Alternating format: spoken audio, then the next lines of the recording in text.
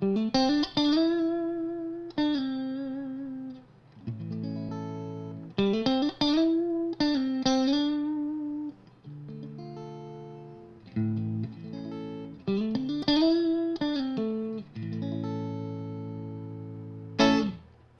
up you guys? Today we're doing a flash review of the Sterling Cutlass CT50 model. Um, we have a bunch of different colors and options in them, but we're going to talk about the specs of these guitars and how they sound, how they play, and uh, we're going to kind of compare between the different pickup style configurations. And um, yeah, so let's plug them in, see how they sound.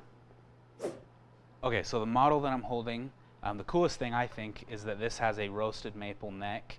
Um, just that dark wood, super unique. I love the look of it. It has locking tuners here um, at the top, which is nice. You can whammy and play a little harder and not feel like you're going to go out of tune as often. Um, it has a rosewood fingerboard and a poplar body. This one comes in the SSS style of um, configuration here, so it's single coil pickups all the way down. Um, so yeah, we'll play some riffs on it and see how the different configurations sound, and then we'll compare it to the SSH style one um, that has just the humbucker instead of the single coil pickup at the bridge. So I'm going to play a riff here, and right now we're on the bridge pickup on the single coil um, setting, volume and tone are both on 10. And then I'll switch now to the um, next position, that's the middle pickup and the bridge pickup. Now just middle pickup.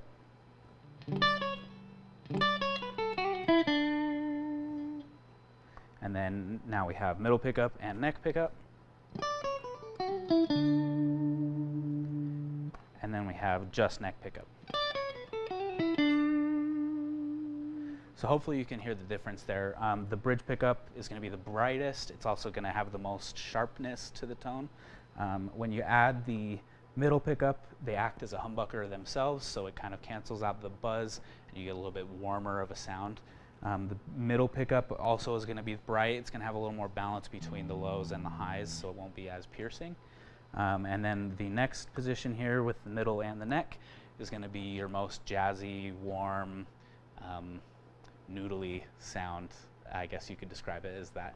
Uh, that's the place that most people play on strats um, for clean tones. And then the neck pickup is going to, again, it's going to have a little bit more punch to it because it's just the single coil, um, but it is going to have that noodly tone to it. So that's the kind of review of those two. The guitar feels great to play. Um, the pickup selector is pretty smooth going through the different positions. Um, they all sound clear and balanced um, volume-wise. So, yep.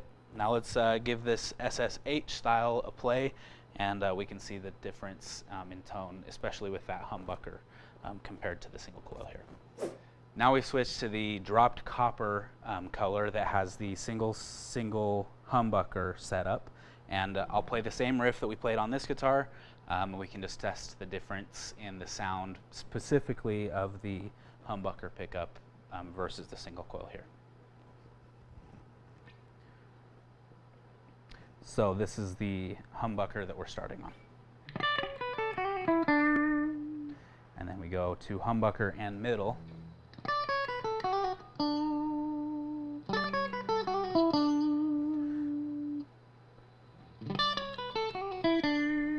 Was the middle pickup there.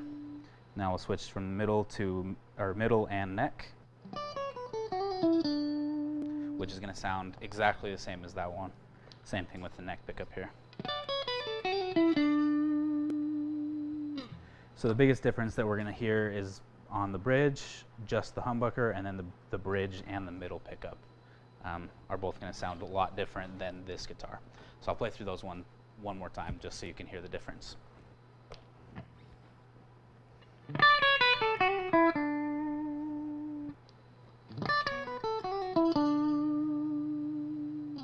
Um, one thing I wanted to mention as well uh, that's on all of these guitars is it has a scooped neck profile um, where the body and the neck come together.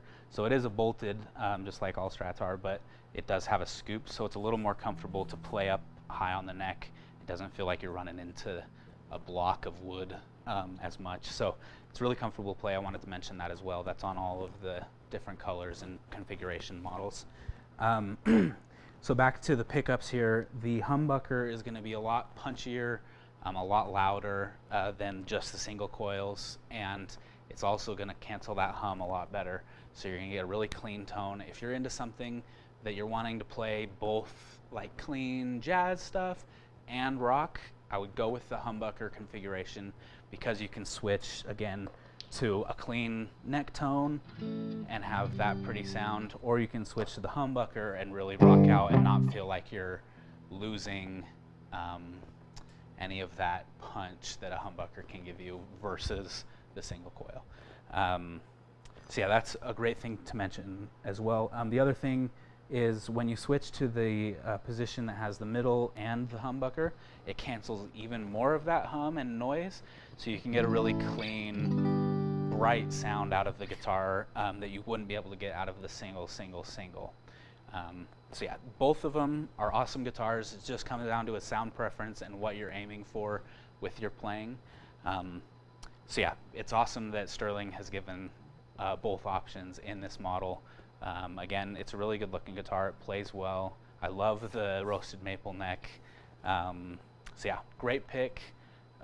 Very versatile, very versatile instrument, and they look cool. I think the colors are awesome. Thanks for watching, you guys. Check us out on boothemusic.com. You can see these guitars and all the different colors and configurations that they come with. Um, let us know down in the comments what you want us to review next, and we'll check it out. All right, so now we switched. Uh, okay, guys, check these guitars out on boothemusic.com.